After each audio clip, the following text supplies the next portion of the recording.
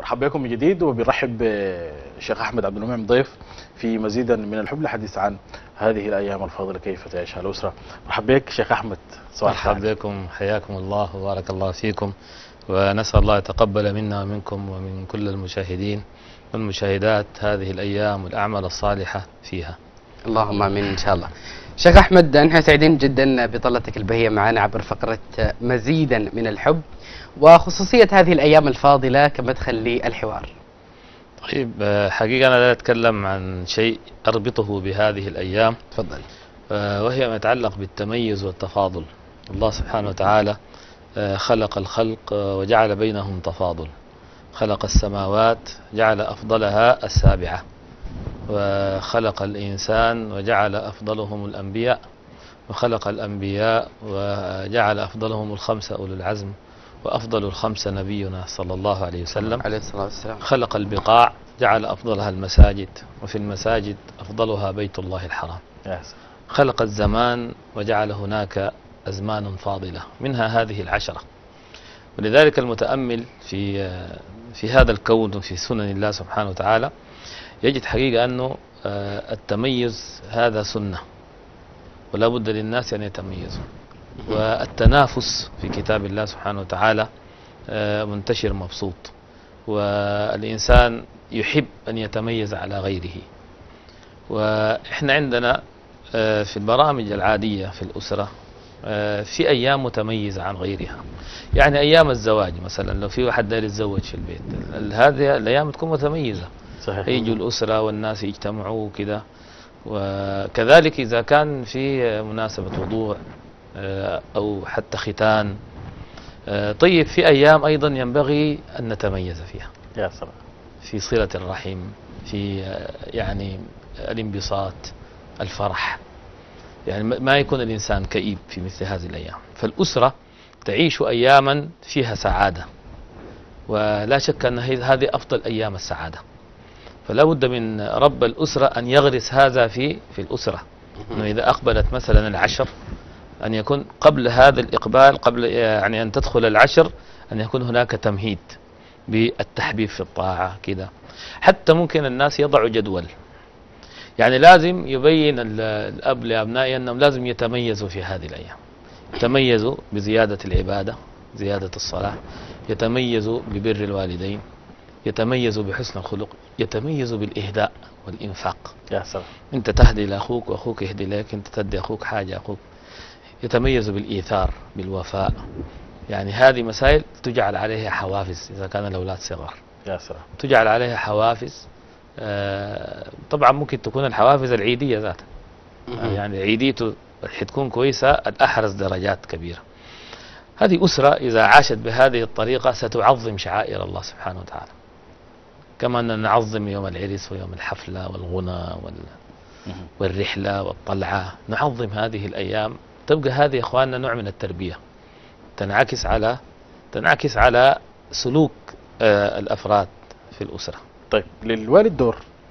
إنه الأبناء معظمهم بيهتموا بعيد الميلاد. يعني اليوم اللي هو بيكون مثلا ولده فيه بينتظروا نعم. من سنة لسنه وقد إحساسه باليوم ده يفوق إحساسه بالعيد. المناسبات الكبيرة. مم. أكيد للاب دور في إنه ينشئ الأبناء على ال- الإحساس بالمناسبات اللي بتستحق من ناحيه شرعية إنه يحسها ويعيشها زي ما ذكرت قبل شوي. صحيح يعني شوف عيد الميلاد بيهيئوا له من بدري. اول حاجة يكونوا حافظين التاريخ. ده عيد الميلاد يوم كده. صحيح. الحاجة الثانية أي زول بيجهز قروش عشان يشتري هدية. بعدين البيت ذاته أول يوم العيد لو واحد زعلان يقول انت زعلان ليه عيد ميلاد فلان تزعل كيف اللي يعني يعيشوا فرحة حقيقية. صحيح. وبعدين ده ما عنده علاقة طبعا. ما عنده أجر في الآخرة ولا عنده حاجة. لكن أنت عظم شعائر الله بهذه الطريقة. وخلي الموضوع أريح. يعني كثير من الناس بيخاف من العبادات. كيف الكلام ده؟ لما نيجي المسجد يقول لك دخلت العشر والنبي صلى الله عليه وسلم صام تسعة يوم في العشر. بشيل هم الصيام تسعة يوم. رمضان ما هسه مشى ها. بشيل هم أي. يقول لي يا أخي كتر من الركعات. أذكر الله. المعاصي في هذه الأيام مشكلة. فالإنسان اللي عنده معاصي أصلا اعتاد عليها وكسلان من الطاعة بتجيه رهبة من هذه الأيام. لذلك يتعامل معاه بتنشنة. ما فرحان. عرفت كيف؟ بعكس أنت لما تبسط له الموضوع وأن الأعمال الصالحة دي يعني الله سبحانه وتعالى ما جعلها يعني شيئا واحدا. يعني النبي صلى الله عليه وسلم لما سئل كما في حديث عبد الله بن عمر جاء رجل للنبي صلى الله عليه وسلم قال يا رسول الله من أحب الناس إلى الله؟ ما ذكر صياما ولا ذكر قياما ولا ذكر إنفاقا ولا ذكر لا إنفاق موجود. فقال له النبي صلى الله عليه وسلم أحب الناس إلى الله أنفعهم للناس. إذا هذا عمل جليل أن تنفع الآخرين. يعني يا أولاد أطلعوا نظفوا قدام جيراننا. ما هو البيوت جنب بعض. تنفع الناس نذكر لهم الحديث. بعد ما تنتهي أنت أحب الناس إلى الله. ينفع. جيرانك. ده ما عمل صالح. صحيح. ضروري الزول يصوم يعني. هذا ما عمل صالح. ها؟ يعني كذلك ال ال ال يعني الأعمال التي يقوم بها الإنسان قد تكون جزء من حياته ما يشعر تفتقر إلى النية. يعني النبي صلى الله عليه وسلم يقول آه، وأحب الناس إلى الله أنفعهم للناس وأحب الأعمال إلى الله. سرور تدخله على مسلم. سرور. طيب بماذا تدخل السرور على مسلم؟ يا أخي ممكن بالمزاح الذي ليس فيه حرمة. أنت لقيت زول متنشن قلت لك ما ضحك. هذا دخلت عليه السرور. صحيح. هذا احتسب الأجر عند الله. بعض العلماء ذكروا أنه من وسائل الدعوة المزاح وذكروا مزاح النبي صلى الله عليه وسلم. مزاحه مع, مع نسائه مزاحه مع المرأة العجوز التي قال لها لا تدخل الجنة عجوز. مزاحه مع الشاب الذي جاء قال يا رسول الله أحملني. قال أحملك على ولد الناقة. فقال كيف يعني ولد الناقة؟ قال وما الجمل إلا ولد الناقة.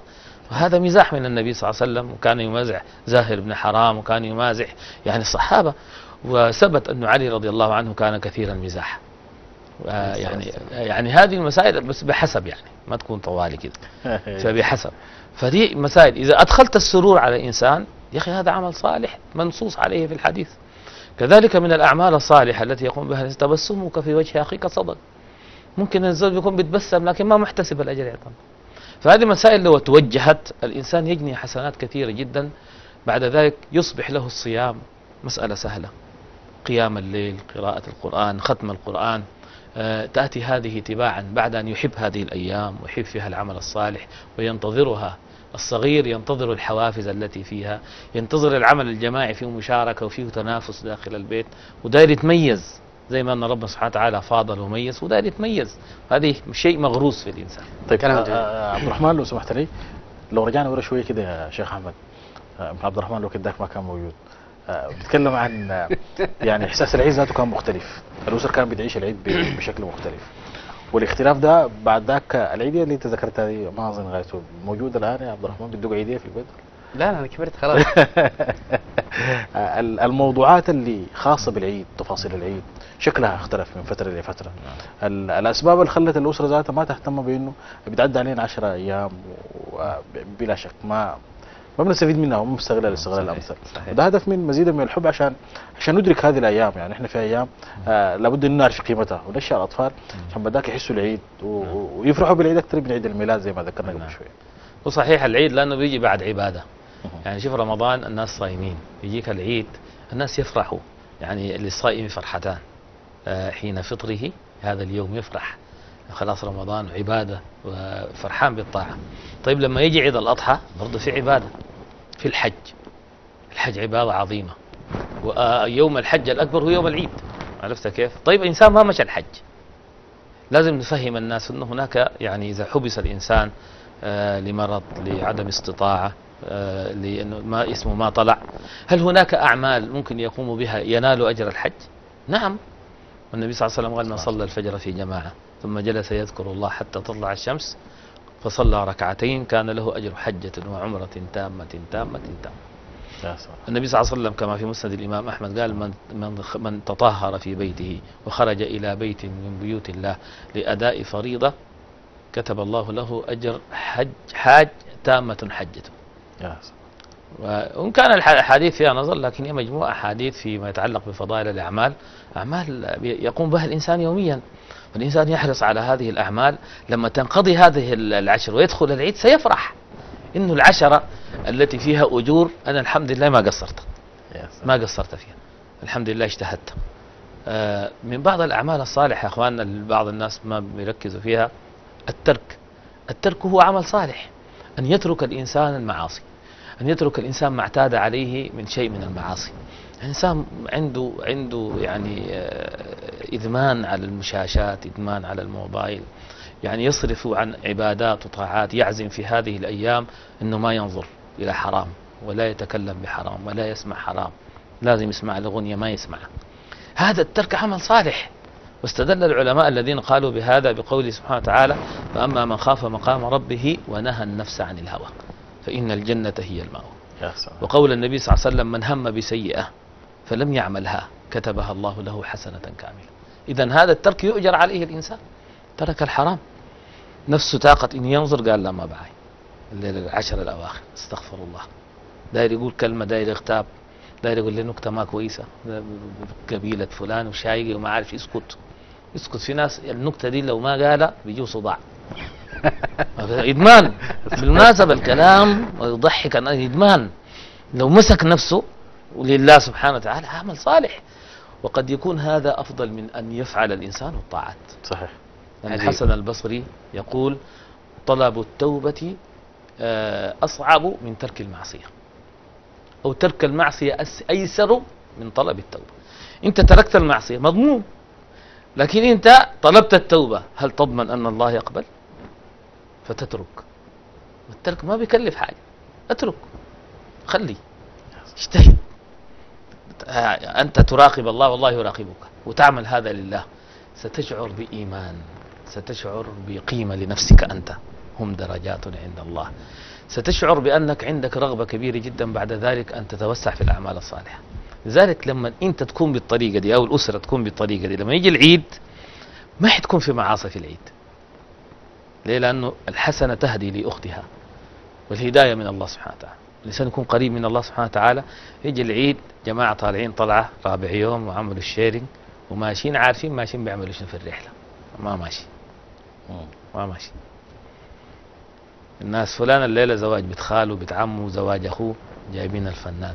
ما ماشي. معقول أضيع الأيام دي كلها عشان فلذلك هكذا إذا ربت الأسر أبنائها على هذا سيكون هناك رباط بالله سيستمتعوا بالطاعة ويلقوا نفسهم كانوا مضيعين وقتهم أصلا المعصية دي ما فيها متعة.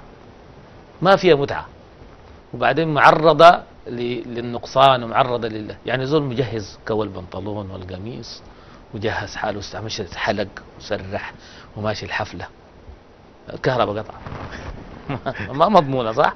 لكن اللذة بالطاعة مضمونة. لو الكهرباء قطعت ولا قاعد؟ يا سلام. ما كده؟ سليم. كلام كلام جميل. الله يديك العافية شيخ أحمد عبد المنعم. نحن سعيدين جدا باستضافتك معنا في مزيد. من الحب.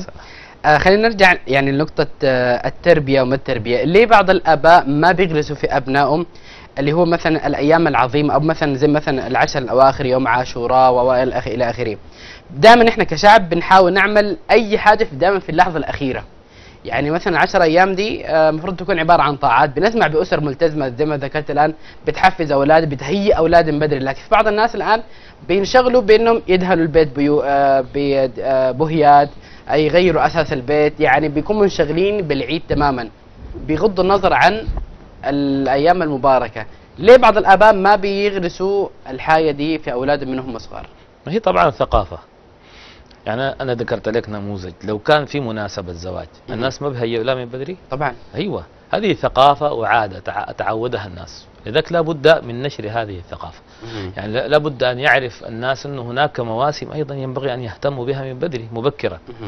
بعدين قضية العولمة وانفتاح العالم وكثرة وسائل الاتصال والوسائل الإعلامية آه، غيرت كثير من ملامح المجتمعات الإسلامية.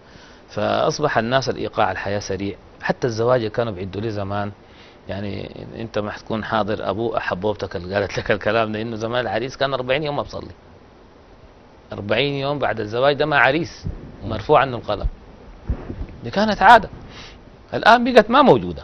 ايقاع الحياة بقى سريع. الآن أي حاجة لازم تنتهي سريع. الناس دايرين يرتاحوا لأنه الحياة ما فيها مسافات. زمان الناس مزارعين في القرى. الزراعة عندها موسم. بعد ما حصدوا بعد عنده شنو؟ منتظر الموسم. تلقاهم قاعدين جنب الدكاكين وتحت الشجرة ويتون. دارين لهم موضوع. لما نيجي الزواج يقعدوا فيها 40 يوم. لو واحد مات بيفرحوا واحدين بيفرح. مات خلاص معناته فراش. 15 يوم ده حياكل ويشرب ويتونس. مجاني. مجانا. صح. وبعدين إحنا عندنا هنا معلش عندنا ثقافة الونسة. يعني برا يمكن ما تلقى الزول طلع برا كثير يقول لك خشم خشمين. يقعدوا ثلاثة ساعات. يعني حقيقة تلقى الناس بيحبوا الورق. في الجامع إذا أنت صليت قبل ما تسبح جنبك يستعدل كده يتونس قبل ما تقول أذكارك. مارقين في الباب أنا بقول لك لمن ظهرك يوجعك. تلقاهم واقفين بيتونسوا في باب الجامع أكثر من وقت الصلاة. لا والله لمن ظهرك يوجعك. تحاول تتخارج من الموضوع ده بيبقى صعب. لأنه الناس يقول لك يا أخي أنت ما داير الناس أنت زاهد زايد الناس. فالونس الكثيرة أحيانا بتطلع كلام يحسب على الإنسان. صحيح. الأيام الفاضلة دي هل خاصة بالناس الملتزمه بس ولا كل الناس؟ لأنه أنا الحكاية دي كان سمعتها قبل فترة من أسرة آه بيقول إنه والله نحن يا أخي ما ملتزمين إن إحنا نعمل الحاجة دي. يعني دي الناس فلان. هم ناس ناس فلان هم بيعملوا الحاجة دي. كل ملتزم دياته أنا والله عندي بعض الناس بشوفهم ملتزمين لكن الناس بيوصفوهم ما ملتزمين. إنسان عنده أخلاق إنسان مؤدب إنسان بيصلي صلواته الخمسة. عرفت كيف؟ ده ما ملتزم يا إخوان. ها؟ يعني بيت محتشمة. ما بتختلط بالأولاد. جالسة في بيتها. تمشي جامعتها وكذا تجي. ما دي ما ملتزمة. ملتزم ده إلا ينتمي لجماعة؟ ولا أنت قاصد ملتزم ده منه أي. إلا ينتمي لجماعة؟ أي. لا يا أخي. يا أخي العلاقة مع الله سبحانه وتعالى. إحنا دي ذات من المفاهيم. اللي إحنا ننتهي منها. قضية الالتزام يا إخواننا هو الإنسان يطلب العلم الشرعي يعرف حكم الله سبحانه وتعالى يلتزم به. هذا هو الالتزام. إنسان جاهل بحكم الله سبحانه وتعالى هذا ما يسمى ملتزم.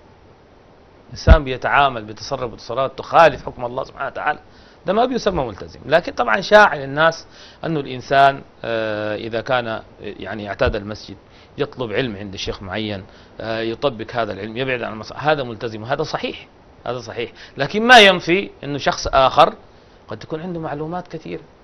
لكن ما ما يتصدر المجالس ما يتبنى قال الله قال رسول يخاف. يخاف إنه يقول الحديث يطلع غلط عرفت كيف؟ ما يتكلم، لكن إذا جاء سأل سؤال وإنت جاوبته ممكن يناقشك نقاش هادئ بينه وبينك تشعر بأنه زول عنده معلومات هو فاهم. لذلك يا أخي هي علاقة مع الله سبحانه وتعالى تتميز بالالتزام بالضوابط الشرعية، الإنسان ما يتعدى على حق الآخرين، الإنسان يقوم بالتزاماته وواجباته. نعم. هذا الإنسان إذا وجد هذا إنسان ملتزم، إذا حتى ما ظهرت عليه بعض علامات الالتزام هذا إنسان ملتزم. بعدين المسألة دي يا إخواننا الدين ده ما حكر على زول. أي إنسان ممكن يعبد الله، بعدين تلقى الناس الكبار في ناس كبار تلقاهم ملتزمين بعبادات ما في زول يقدر عليها. يعني صلاة بالليل، قراءة للقرآن، صلة للأرحام، اهتمام بالتربية. يعني دي دي دي دي مسائل قد ما تجدها. في بعض الناس عندهم أخلاق قد تكون عادة عادة يعني شهامة تلقى إنسان شهم ما يشوف لي حاجة بيقدر يعملها يقيف. ولا يقول لك أنا مالي وماله ولا بوسخ هدومي ما لا. تلقاه يخش في أي حاجة ويشتغل بدون شهم عرفت. كيف؟ هذه أخلاق الإسلام. يا سلام. إذا جمع معها الصلاة وصيام رمضان وحسن الحديث والأدب هذا ملتزم طيب. أبدأ من حيث انتهى عبد الرحمن. بيتكلم عن إنه مثلا الناس بتهتم بأشياء كثيرة جدا. اهتمامنا بال بال بالمباني قبل المعاني اللي المفروض نعيشها في حياتنا. انشغال بهم هم ال- الأطفال الخروف. شخص ما مستطيع وشايل هم في الأيام دي. ونحن بنقول من خلال مزيد من الحب إنه المفروض نحن نهتم بما تبقى من أيام يعني. حنفصل ونقيف مع يوم عرفه كمان كمحور خاص لكن الجزئية بتاعت ال- اللي من لم يستطيع الوضحية. تقول له شنو يا شيخ؟ اي طبعا هي طبعا سنة مؤكدة. وثبت أن النبي صلى الله عليه وسلم ضحى بكبشين أملحين أقرنين. قال هذا عن محمد وآل بيته وهذا عن أمتي. والانسان ما يدخل يا إخواننا في ديون ويدخل في قضايا كثيرة وليست نيته التقرب إلى الله سبحانه وتعالى. طبعا يا إخواننا العبادة والتقرب إلى الله والانسان إذا اندفع إليها ثم استدان جائز. جائز والله سبحانه وتعالى يأجره لاهتمامه بتعظيم هذه الشعيرة أما إذا كان ضغوطات مجتمعية الإنسان ما يستدين ما يستدين لأنه المسألة دي تدخل الإنسان في مشاكل. خاصة نحن في بداية عام دراسي رسوم مدارس وملتزمات مدرسة. آه، في بعض الناس مستأجر يعني له إيجار آه، ظروف الحياة كل يوم الأسعار زايدة عرفتها؟ فالالتزام بالأضحية مشكلة. فإنسان يحتسب أجره عند الله سبحانه وتعالى وإنما الأعمال بالنيات. إذا نوى وما استطاع الله سبحانه وتعالى يكتب له الأجر. إذا اشترى هذه الأضحية فحقيقة ينبغي أن لا يتباهى بها وأن يج- يجاهد نفسه في أن هذه الأضحية تكون لله. يعني الله سبحانه وتعالى قال لن ينال الله لحومها ولا دماؤها ولكن يناله التقوى منكم. يا سلام. وإن الدم كما قال عليه الصلاة والسلام ليقع عند الله بموقع قبل أن يقع في الأرض. يعني شعيرة مرتبطة بهذا اليوم بعد طيب. الأسعار يعني ينبغي حقيقة أن الناس آه، يعني يخفضوا الأسعار لأنه يعني الإنسان صاحب البهائم في هذا الموسم يبيع كثير فيعني رسالة لأصحاب البهائم وكذا إنه الناس تقلل أسعار واحد آه، يعني سأل آه، قال لي الخروف بكم؟ قال له ب 5500 قال لي ده اسمه ولا سعره؟ طيب كيف يتعامل مع مع الأبناء يعني الضغوط الموجودة في الأسرة طلبات الزوجة والأبناء هم برضه بيلحوا الجيران كمان جابوا خروف نحن لسه ما جبنا كيف يتعامل معهم داخل البيت في الاسره والله شوف إذا كان عندهم فرح بالطاعة يغنيهم عن فرح بأي شيء آخر. يعني كما القصة المؤثرة لعمر بن عبد العزيز أن الأطفال لما دخلوا آه، يعني يعيدوا عليه وكان من بينهم ابنه وكانت هدومه رثة ما استطاع أن يشتري له ملابس للعيد لفقره وهو أمير المؤمنين. فلما رأى الولد أباه يبكي فقال ما يبكيك يا أبتي؟ قال ما أنت عليه يا بني. يعني ما استطعت أن أميزك بين فقال يا أبي آه ليس الفرح بالعيد ولكن الفرح آه العبارة شنو هي؟ لمن خاف يوم الوعيد. ها؟ يعني عبارة نحوها. فهذا الطفل ربي على الارتباط بالآخرة. لذلك لما مات عمر بن عبد العزيز كان آخر آية قرأها تلك الدار تلك الدار الآخرة. نجعلها للذين لا يريدون علوا في الأرض ولا فسادا والعاقبة للمتقين. فهي هي ال- المعول على التربية. واحد يقول لك يا أخي ديل ما حيفهموا لي كلام زي ده. يعني المرأة لو اعتقلت لها القرآن كله تقول لك بس دايرين خروف؟ طيب الكلام ده. صحيح. أيوه. لأنه أنت ما تعاين للعيد ده. انت داير تربي وتغرس هذه القيم العيد ده كنسله عاين لعيد الضحية الجاي. انت من هنا لعيد الضحية الجاي رتب أمورك هذا. أيوه. أيوه. في حاجة اسمها البعد الزمني. والبعد الزمني ده في القرآن موجود. يعني شوف ربنا سبحانه وتعالى لما قال ونريد أن نمن على الذين استضعفوا في الأرض ونجعلهم أئمة ونجعلهم الوارثين. إرادة الله أن يتحول هذا المجتمع وأن هذه هؤلاء المستضعفين يكونوا هم الأئمة. طيب ما هي الخطوة التي بعدها؟ قال فأوحينا إلى أم موسى أن أرضعيه. التغيير حياتي عن هذا الطفل الصغير الرضيع بعد أربعين سنة. وبعد أربعين سنة في يعني مشوار بتاع دعوة ويمشي وي- ويدعو كده سنين حتكون. بعد ذاك يأتي التغيير بعد ما يغرق فرعون. شوف دي قبل كم شوف النبي صلى الله عليه وسلم قعد 13 سنة في مكة. آه، في بعض الناس ما تغيروا أو أكثرهم تركها بأصنامها وخرج. وهكذا. يعني ال ال ال الناس لازم يفهمون التغيير الكلام. هو سمح. يقول لك أنا من هسه مش هكلمها هي ما هي ما تكون مهيئة زيك. هي بيكون في رأس الخروف ما بيطلع. الخروف الخروف. شفت كيف؟ فالإنسان يا اخواننا المسألة بتحتاج من الناس لجهد إلى بعد زمني آه، إلى أسلوب إلى طريقة تعامل. ما بالنهر ولا بالعصا. والله ما أجيبه ما عاجبك أمشي بتهالي. لا ده ما تربية. وهذا ليس اصلاحا. إصلاح داير أخلاق داير أسلوب داير معاملة حسنة وهكذا.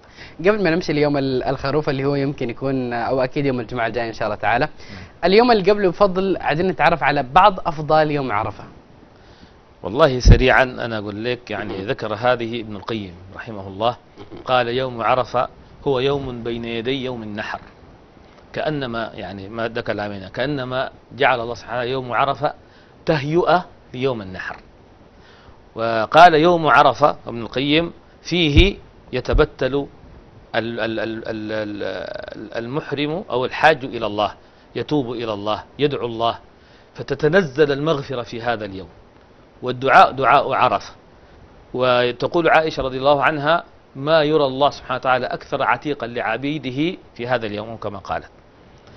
والماحاج يعني الناس في الامصار يصومون هذا اليوم يقول عليه الصلاة والسلام أحتسب عند الله أن يكفر سنة ماضية وسنة اتيه فابن القيم يقول هذا يوم بين يدي يوم عرفة. يعني حتى يستقبل الناس العيد من غير ذنوب في هذا اليوم. الصام والذي وقف بعرفة والذي قلبه مع الحجاج يأخذ أجر الحجاج. يعني دي نية يا أخواننا من هسه إنسان يعقده أنه يتمنى أن يكون في عرفة ينوي أن يمشي عرفة.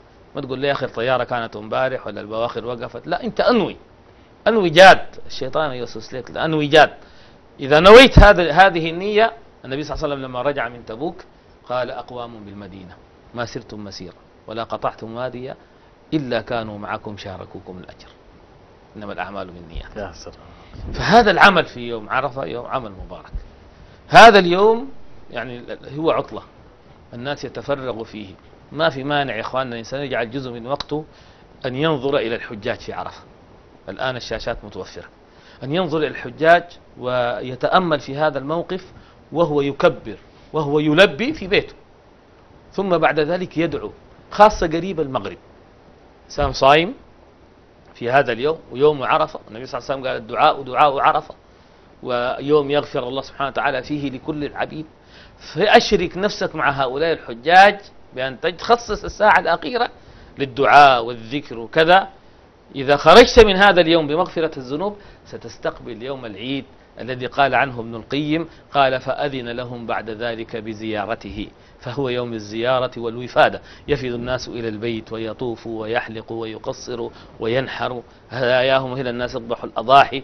فهذا اليوم يوم عرفة يوم تهيئة ليوم العيد. يا سلام أنا خلاص كلام حلقت بينا كده وذكرنا خلاص أنزل عشان. يا سلام. لابد من وصية كمان للأم الأمهات في البيوت والأخوات في البيوت بي- بينشغلوا بتفاصيل البيت ال- والتجهيزات والترتيبات. وبيقودوا بعد ذاك تخطيط لإنه آه، يغيروا شنو في البيت في شنو محتاج إضافة. آه، مع انشغالهم ده محتاجين لوصيه كمان. أي نعم هو شوف هو هذا من تعظيم الشعائر في المتاح الذي ليس فيه إسراف. تهيئة البيت دهان البيت يعني يعني تعظيم. أنا في في في نفسي أن هذا تعظيم الناس يتهيئوا لهذا اليوم لأن هذا يوم عيد مسلمين. هذه عبادة. فلما يهيئوا الناس ويلبسوا النظيف ويلبسوا الجديد هذه سنة. فيحتسب الناس الأجر. يعني في يوم عرفه الناس صايمين أكثر زول حيكون تعبان الأم والبنات في البيت ويمكن الأولاد. حينظفوا كده مع احتسابهم الأجر سيكون هذا أيضا من الأعمال الصالحة في هذه العشر. ويحتسب أجرهم عند الله سبحانه وتعالى آه، بعد ذلك أخواننا ما يكون في تنافر بين بين الأولاد. دي نظفت أنا ما أنظف دي ليه نايمة أنا أقوم ليه أنظف وهي ديك ليه نايمة وأنا يحصل هذا النقاش حق الناس يقسموا من بدري ويجعلوا حوافز لل- للزول اللي بيشتغل وكده. وبرضه يفهموا يا اخوانا دي عبادة. يا اخوانا بر الوالدين بالنسبة للأولاد من أعظم العبادات.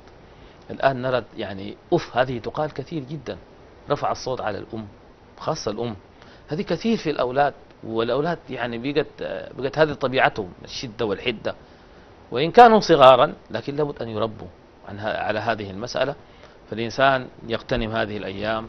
آه، المرأة في البيت أيضا آه، حقيقة عندها دور كبير جدا في إعانة زوجها على صيام هذا اليوم على تلاوة القرآن يعني على تذاكر بعض الأحاديث بعض الآيات في هذا آه، أن يكون هناك حديث عن هذا اليوم من الليلة حديث عن يوم.